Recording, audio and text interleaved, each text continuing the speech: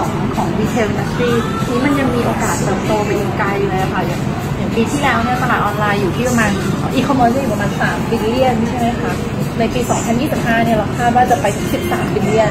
ก็คือแค่ในเวลา 5-6 ปีเองนะก็คืออัตราการเติบโตมันไปขนาดนั้นเพราะฉะนั้นอย่างเอ่อแคมเปญในในปีที่ผ่านมาเนี่ยที่เราทำเป็นครั้งแรกผลตอบรับก็ดีมาก ปีนี้เราก็คือเนื่องจากคนเนี่ยเริ่มรู้จักละในในทีนี้เราก็ก็มีความค่อนข้างมั่นใจว่า การเอ่อบริโภคของผู้ของของเอ่อผู้ใช้งานเนี่ยจะมากขึ้น เพราะว่าเขารู้จักแคมเปญมากขึ้น แล้วก็รู้จัก Lazada มากขึ้น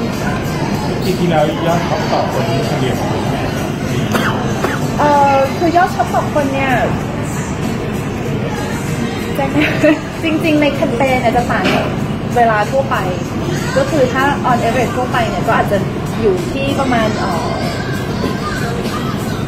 ประมาณพันต้นๆอย่างเงี้ยค่ะอืมอยู่ประมาณพันต้นๆแต่ว่าในช่วงแคมเปญเนี่ยก็จะอาจจะมีอาจจะประมาณห้าเท่าของเวลาทั่วไปอะไรอย่างเงี้ยพันสองร้อยบาทประมาณต่อคนก็คือสูงกว่าปีที่คือแล้วห้าพันบาทต่อคนเหรอคะในมันจะเป็นแคมเปญค่าเท่ากันถ้าถ้าเกิดว่าแคมเปญเนี่ยจริงๆขึ้นอยู่กับไซส์ของแคมเปญมากกว่าคือถ้าเป็น11 11เนี่ยการใช้จ่ายต่อคนเนี่ยก็จะมากขึ้นอยู่แล้ว เพราะว่า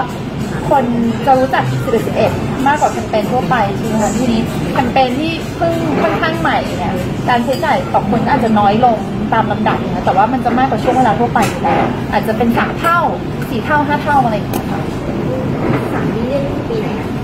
สาม billion ก็คือไปเอ่อ2018 จะเป็นตลาดอีคอมเมิร์ซในเอ่อในไทยอะค่ะตอนนี้คือในเทมาเซ็ตค่ะใช่ แล้วก็ 2025 ก็คือคาดการณ์ว่าจะไปถึง 13 billion ถ้าการที่ทุกแบรนด์ แล้วก็ทำแคมเปญถี่ขึ้นมันจะช่วยกระตุ้นให้มันบ่อยลงกว่านี้ไหมอะคะหรือว่าเป็นเพราะว่าเศรษฐกิจมันที่ดีนะคะเออจริงๆปีนี้มันถี่ขึ้นอะเออจริงๆทุกแคมเปญเนี่ยหมายถึงว่าทำไมมีแคมเปญถี่ขึ้นเหรอคะคือถ้าในมองในมุมของ Lazada เองเนี่ยเรามองว่าอย่างการทำแคมเปญเนี่ยมันคือทั้งสองคือสองฝ่ายใช่ไหมอย่างเอ่อในมุมของร้านค้าหรือว่าแบรนด์เองเนี่ยเขาเหมือนเป็นการการทำเหมือนกับว่าซ้อมตัวเองอะว่าว่าการทำเพราะว่าการทำแคมเปญแต่ละอย่างมันจะต้องมี มี mechanic มากมายว่าเออฉันจะต้องตั้งราคายังไง ฉันจะต้องเตรียมสต็อกสินค้ายังไงขอบคุณนะจะต้องเตรียมสต็อกสต็อกสินค้ายังไงถึงจะพอใช่ไหมคะแล้วก็ในเรื่องของการทำ forecast ต่างๆ ด้วยเพราะฉะนั้นทุกคมเปญเนี่ยเหมือนเวลาเราทำครั้งแรกเนี่ยอาจจะยังไม่รู้ว่า จะต้องทำยังไงถึงจะขายของได้ดีทีนี้การมีคมเปญบ่อยๆเนี่ยก็คือเหมือนได้ได้ฝึกกันเรื่อยๆว่าโอเค พอถึงเสร็จเสร็จปุ๊บ เราก็จะรู้ทันทีว่าโอเค เราควรจะต้องมีสินค้าอะไรมาขายลูกค้า ควรจะต้องใช้เครื่องมืออะไรบนแพลตฟอร์มของ Lazada ควรจะต้องตั้งราคาแบบไหนควรจะต้องมีส่วนลดแบบไหน ที่จะทำให้คนเนี่ยอยากมาซื้อต้องทำการตลาดยังไงก็คือเหมือนเตรียมความพร้อมให้เขามากกว่า ซึ่งซึ่งทุกแบรนด์เนี่ยเขาก็ชอบเพราะว่าก็คือทุกครั้งที่มีแคมเปญเนี่ยขายของดีขึ้นแน่นอนใช่ไหมคะทุกครั้งที่มีก็เออสามเท่าค่ะของร้านค้าที่อยู่ในร้านมองนะคะ จากตรงที่เรามองการแข่งขันที่เป็นการแข่งขันเรามองว่าเป็นสิ่งที่ดี เพราะว่าถ้ามีการแข่งขันเนี่ยเราเองก็ต้องพัฒนาตัวเองใช่ไหมคะไม่ว่าจะเป็นในเรื่องของนวัตกรรมใหม่ ๆ ที่เราจะต้องวาดออกมาเรื่อยๆใช่ไหมอย่างทุกแคมเปญเนี่ยเราจะได้ก็จะมีฟีเจอร์ใหม่มาตลอดคือเราต้อง